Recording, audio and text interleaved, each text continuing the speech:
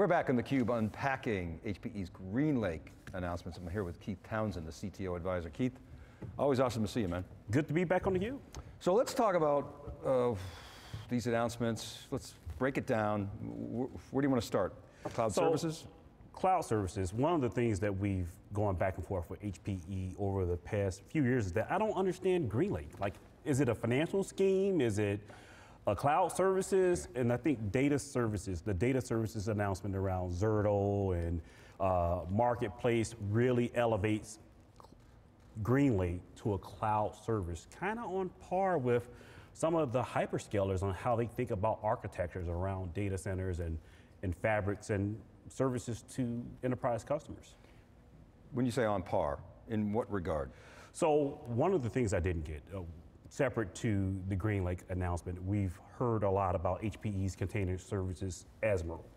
And they have a data fabric and it does things that the storage solution does. Okay, that seems like a marketplace upon itself. And then the data services with the Zerto acquisition, complete, completely different marketplace?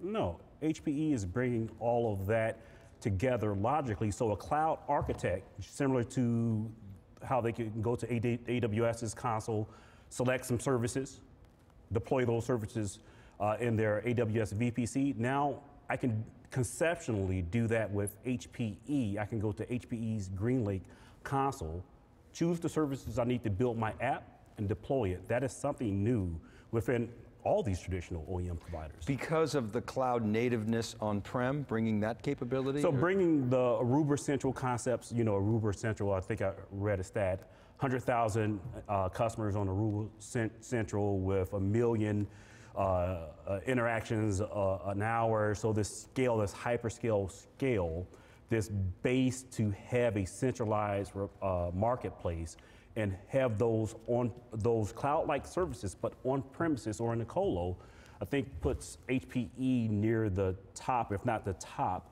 for building private cloud services on premises. Let's say you're a CTO at an organization that's an HPE customer or, an architect. Uh, you're all in on HPE, been working with the company for a long, long time.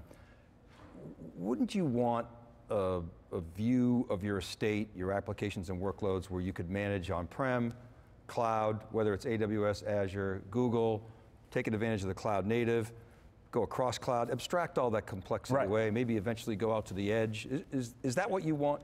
That's what I want. It's aspirational. No one between Microsoft to HPE, no one is able to give me that today. So as a CTO, I'm looking at platforms and seeing is the building blocks there. We talked to the HP storage team, uh, how they're building the abstractions that they can take anything from their ProLiant line, build the necessary, necessary storage underlay, and then abstract that away with uh, GreenLake. You can do that with AWS EBS, Azure storage, it really doesn't matter because they're building the abstractions. So aspirationally, they're there, they're, they have the right vision, it's about execution. Okay, so that is the right direction in, in your mm -hmm. view. You, you, I mean, I, I think that, that is clearly where customers want to go. A lot of work. A lot of work. To get there, and it's a race, right? I mean, that's, you know, I feel as though as a service is good starting point, mm -hmm. but there's, there's a long way to go. And, and so how do you feel about HPE's you know, chances there, how they're positioning relative to not only the, their other sort of on-prem competitors, but public cloud players?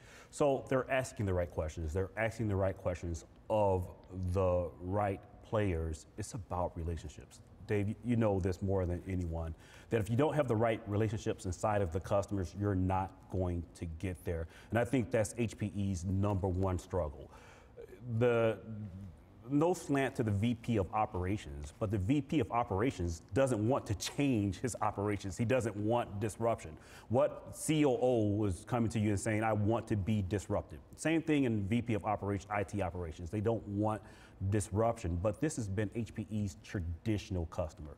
HPE needs to get into the chief data officers, the chief marketing officers, uh, office and have these very difficult conversations in sales so that they can eventually show that they can execute. And I think that's the, one of their primary challenges. So, okay, so that, that's good. I'm, I'm glad you brought that up because I think Ezmeral starts to go in that direction.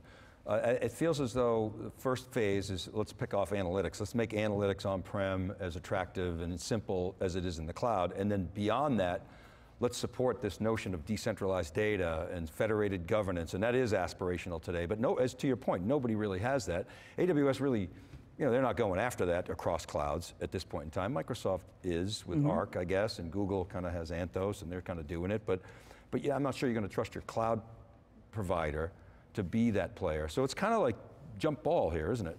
You know, uh, AWS had to make a strategic partnership with one of HPE's primary competitors because there was a gap. We know Andy Jassy, former uh, president and CEO of AWS, doesn't typically partner with traditional OEMs unless there's a real gap in his portfolio that he needed to do. He did it with VMware and he did it with uh, HPE's uh, primary competitor in storage or one of their primary competitors in storage. HPE sees the opportunity. The question is, do they have the workforce? Do they have the field teams, the field CTOs, the solution architects that can go and talk the talk to these customers and this new audience that they need to convince that HPE is just as uh, as respected as Snowflake in these in this data area. Can partners fill that gap? Uh, partners definitely can fill that gap, but HPE still has the same challenge with partners, transforming partners from speaking boxes to solutions. I've spent a short stint at VMware. I was surprised at how rigid the channel is and these large organizations in making that transition. The other thing when you think about as a service, that at least that I look for, I wonder if you could comment, is the pace. You know, we all we go to we go to these events, we go to reInvent, and it's just this fire hose of announcements. We're seeing HPE on a cadence. You know, it's not like a once a year dealio with GreenLake. We're seeing, you know, the, some stuff with HPC. We're seeing the acquisition of Zerto, uh, the, the the DR services, the data protection as a service, Ezmeral. Do you feel like that pace is accelerating, and is it fast enough? You know what? Uh, I famously said on theCUBE that VMware moves at the pace of the CIO. HPE needs to move a little bit faster than the CIO because the CIO isn't their only customer. They have the opportunity to uh, get customers outside of the CIO. And I think they're moving fast enough. This is really hard stuff, especially when you start to deal with data and the most valuable asset of an organization.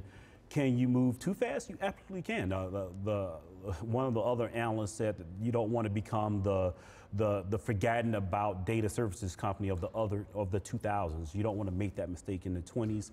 So I, I, right now, I think I feel as if HPE is making the right uh, cadence, bringing along their old customers, new customers.